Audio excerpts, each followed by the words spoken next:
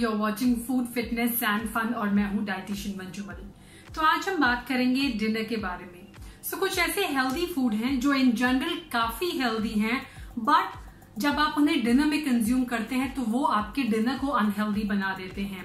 सो so, dinner जो है बहुत एक इंपॉर्टेंट मील है एक अच्छी स्लीप के लिए। आपको डिस्ट्रेस करने के लिए इन्फ्लेमेशन ब्लोटिंग गैस, इन सभी प्रॉब्लम्स को इनफैक्ट आपके डाइजेशन को भी अगर आपको इम्प्रूव करना है तो आपको अपने डिनर की मील पर ध्यान देना होगा। So as per Ayurveda and as per science there certain healthy foods which are not allowed अगर आप उन्हें डिनर में कंज्यूम करते हैं। उसमें नंबर वन पर है क्विक ओट्स सो इंस्टेंट या क्विक ओट्स आर हेल्दी जब आप उन्हें ब्रेकफास्ट में कंज्यूम करते हैं।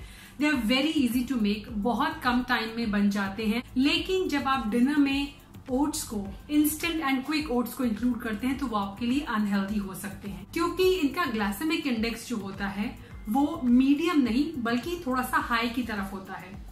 सो ग्लाइसेमिक इंडेक्स जो होता है, वो एक नंबर होता है बिटवीन वन टू हंड्रेड जो भी फ़ूड 55 तक की 1 से 55 तक की रेंज में आते हैं, वो लो ग्लाइसेमिक फ़ूड होते हैं। इनका मतलब ये होता है कि वो आपकी बॉडी के अंदर धीरे धीरे डाइजेस्ट होते हैं और आपकी ब्लड शुगर को रेज नहीं करते सडनली इंक्रीज नहीं करते।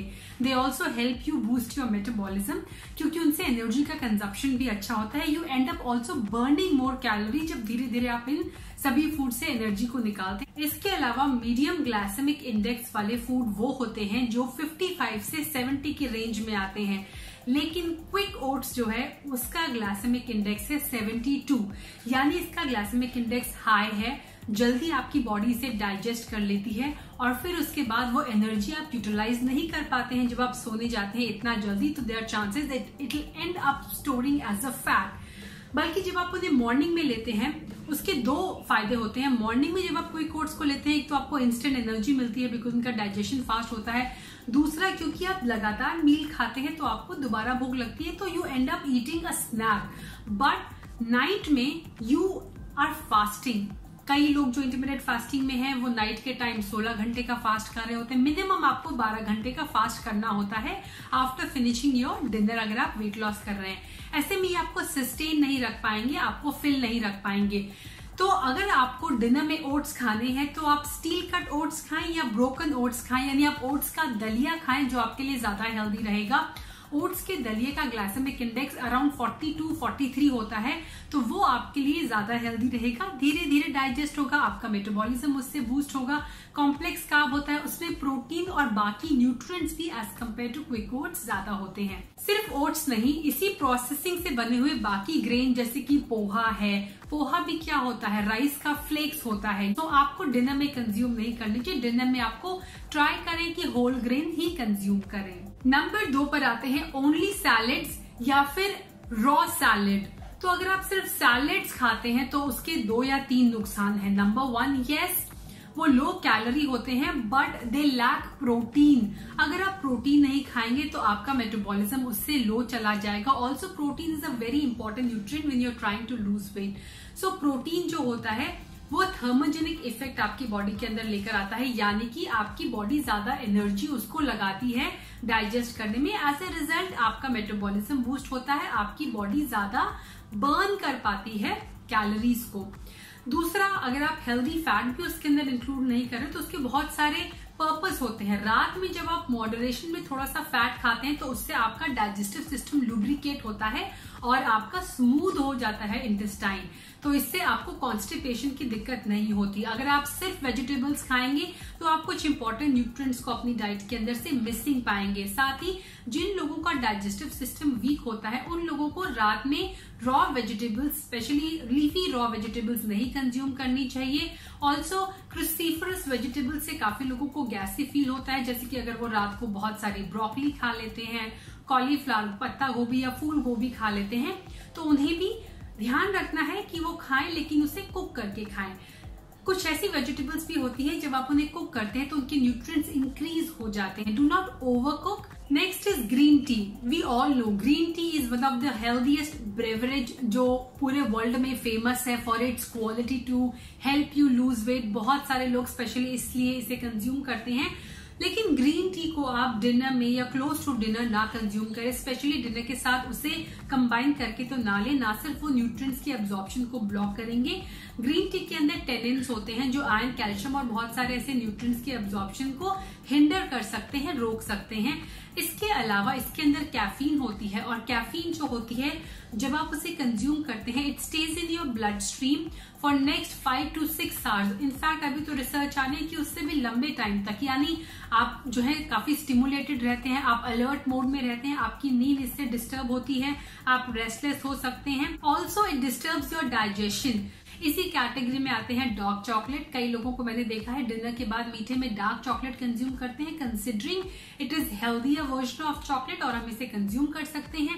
लेकिन डार्क चॉकलेट के अंदर भी होती है कैफीन जो ये सारी प्रॉब्लम जो ग्रीन टी से आपको हो सकती है, वो भी आपको उससे हो सकती है। So do not eat dark chocolate as your dessert after meal next is curd हम सभी को पता है कर्ड बहुत हेल्दी होती है, उसके अंदर कैल्शियम होते हैं प्रोबायोटिक्स होते हैं पोटेशियम फॉस्फोरस। बहुत सारे और भी मिनरल्स एंड वाइटामिन होते हैं दही को, लेकिन अगर आप डिनर में कंज्यूम करेंगे तो वो आपके लिए नुकसानदायक हो सकता है। एज पर आयुर्वेदा दही जो होती है स्पेशली उन लोगों को तो अवॉइड ही करनी चाहिए जिनकी बॉडी की प्रवृत्ति कफ की होती है, यानी उन्हें बहुत जल्दी म्यूकस बन जाता है कोल्ड एंड कफ हो जाता है। इनफैक्ट जो लोग ओबीज होते हैं, जिनकी बॉडी के अंदर फैट मास ज़्यादा होता है, उन्हें भी दही डिनर में अवॉइड करनी चाहिए। इसके अलावा जिन लोगों को एस्थमा होता है, उन्हें भी अवॉइड करना चाहिए।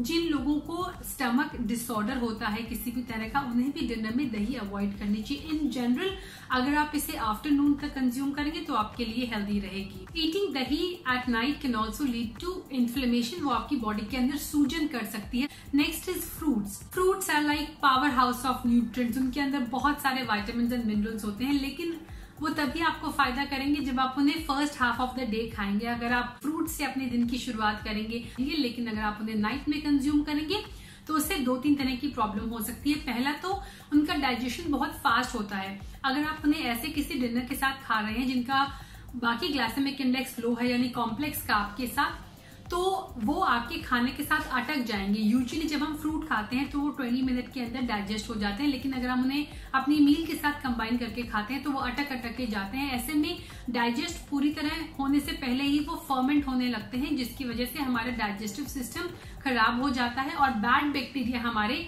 गट पे अटैक करने लगते हैं। कई लोगों को इससे गैस्ट्रिक प्रॉब्लम भी होती है। नेक्स्ट इज़ फ्रूट की कैटेगरी में स्पेशली जो सिट्रस चीज़ें हैं, जो एसिडिक फ़ूड होते हैं, वो भी आपको अवॉइड करना चाहिए। एप्पल साइडर वेनेगर है, या फिर अगर आप डिनर में कच्चा प्याज खाते हैं, या टमेटो सॉस कुछ अगर, वैसे तो इन जनरल ही वो हेल्दी नहीं होता है, पर उसे अवॉइड करना चाहिए।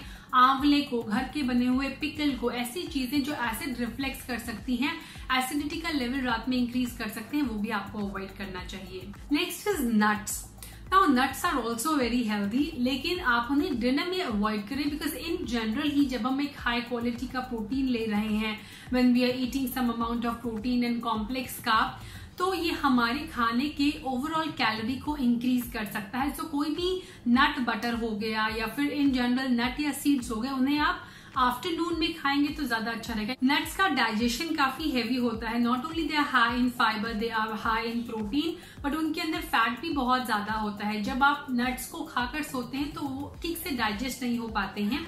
तो इसीलिए आप उन्हें भी स्किप कर सकते हैं, थोड़े अमाउंट में ले सकते हैं। Last is red meat red meat भी हमें डिनर में अवॉइड करना चाहिए। Red meat is full of fat, उसके अंदर फैट बहुत ज़्यादा होता है और कैलोरी भी काफ़ी ज़्यादा होती है। ऐसे में लीन मीट अगर आप खाएँगे तो ज़्यादा अच्छा रहेगा।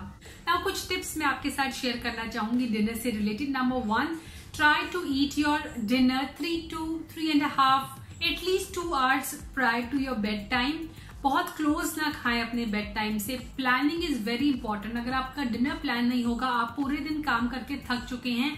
I seen a lot of people जहाँ वो डिनर में स्लिप हो जाते हैं they get tired and they you know eat something which is not that healthy for them so planning is must और अगर आप कुछ प्रिपरेशन भी कर सकते हैं एडवांस और बाकी जो मैं हर मील के साथ कहती हूँ डिनर को भी try not to watch TV without distraction अपने डिनर को एंजॉय करें, आराम से कहें अच्छी तरह चू करें टीवी लैपटॉप पे के सामने बैठ के अपना डिनर ना कंज्यूम करें। एक्सेस सॉल्ट और एक्सेस स्वीट को भी डिनर में आपको अवॉइड करना है। बहुत सारे क्वेश्चन आते हैं कि हम दाल, राजमा, छोले को खा सकते हैं? यस अगर आपकी डाइजेस्टिव सिस्टम हेल्दी है, अगर आपका डाइजेशन इन जनरल हेल्दी है और आप दो से तीन घंटे पहले अपना डिनर कर रहे हैं then you can have dal rajma chole but in moderation तब भी आपको बहुत ज़्यादा कंज्यूम नहीं करना है। यही क्वेश्चन आता है राइस से।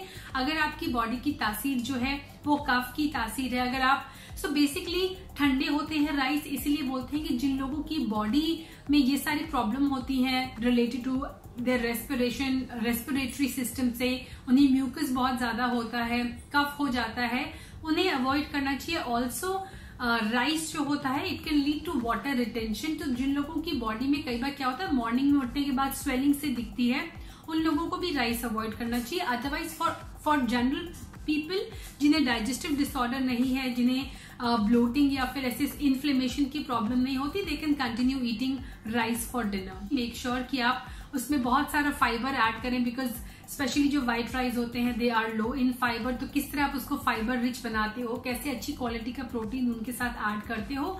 दैट ऑल्सो मैटर्स अलॉट इसके अलावा बहुत सारी डिप्स एंड ड्रेसिंग्स भी अवॉइड करें.